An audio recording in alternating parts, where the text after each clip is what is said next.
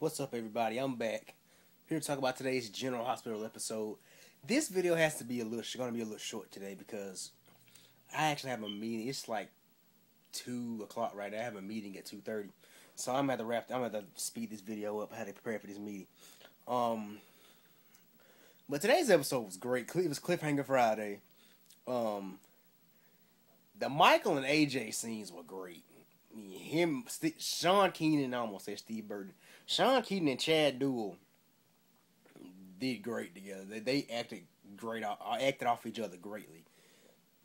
Excuse me, but um, they had some great scenes, and it shows that Ron Carlivati knows his General Hospital history.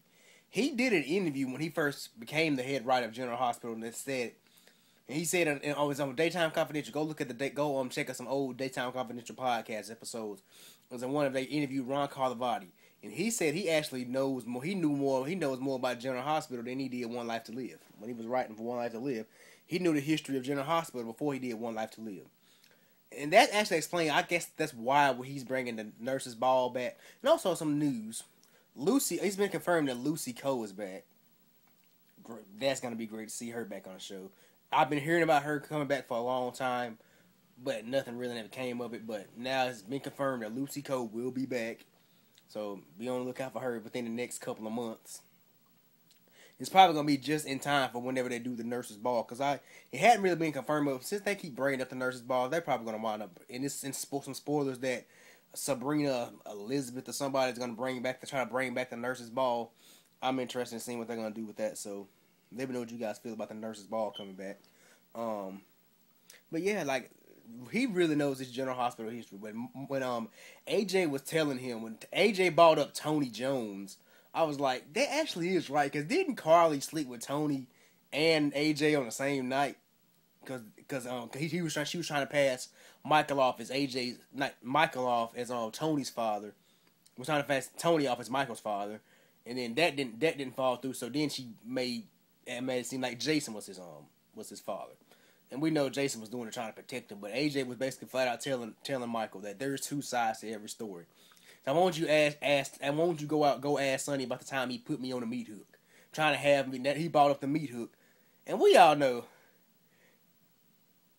We know we've seen the guy that played AJ Billy Warlock, and that that was and he and like I said I was saying like my video like yesterday that Guza Bob Guza um destroyed that AJ character. He just basically destroyed that character. He made it. Yeah, the character was like he was bad at first, but he wasn't really that bad. But Guza just destroyed him.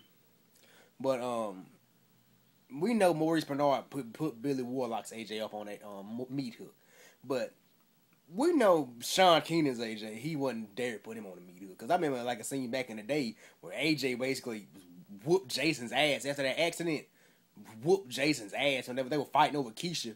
Keesha Ward, which is another character I wouldn't mind seeing come back. But hey, I'm not gonna lie, there's too many people on the cast right now anyway.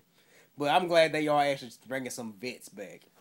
But anyway, um, moving on to today's episode, I actually thought um, um, Todd and Carla were actually gonna go for it. I thought Todd and Carla were gonna go for it.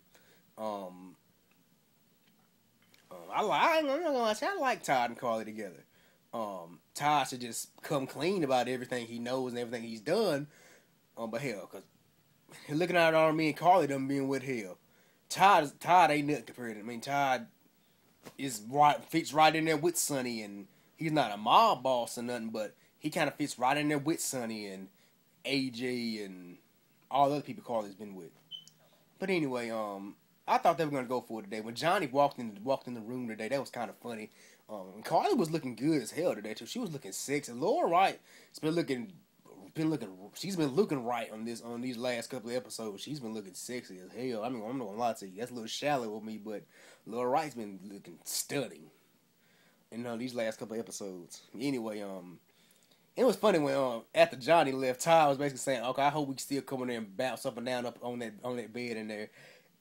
Only Todd Manning. I, I would say only Todd Manning. Um, like I said, the Connie and Johnny scenes and Con- the, the scene between Connie, Son, Connie, Kate, whatever she's going by, Sonny and Alexis. Those were some funny. I mean, Connie was basically going and reading all them, and I have a good feeling Connie's gonna wind up. Connie, Kate, she's gonna wind up getting getting off. I have eventually. I think she's gonna wind up getting off. Um, and I think, and I wish all this stuff with Johnny, him being a true killer of um, and I wish they would quit saying Cole and Hope were murdered. Um, they really weren't murdered. Starr was in that car crash too. It was just an accident. Yes, his the wheels were shot at, but I wouldn't really necessarily. Would you really call that a murder? I mean, I don't know if you would call that a murder or not, but I think it'd be more manslaughter than it would be murder. But anyway, um, I'm just ready for him to come out with that Johnny to flat out just tell him, tell everybody he's the true killer and whatnot.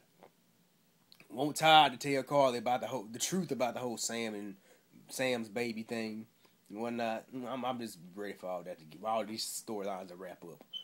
Um, but yeah, um, that's really all I got to say about today's episode. It was a good, a good cliffhanger Friday. Um, love the Michael and AJ scenes today. They was those they acted acted great off of each other. Um, didn't really expect um them to act that great off each other. I knew Sean Kanan would do a great job, but Chad Duell's Michael's been kind of eh to me. No, he's not that bad of an actor, but I mean, it's been kind of eh. Um, anyway, um, let me know what you guys think about today's episode. Leave me a comment below. Um, I'll see you guys I Hope you guys have a great weekend. Wish me luck on this meeting I'm about to go to. Hope I land this. I land this gig.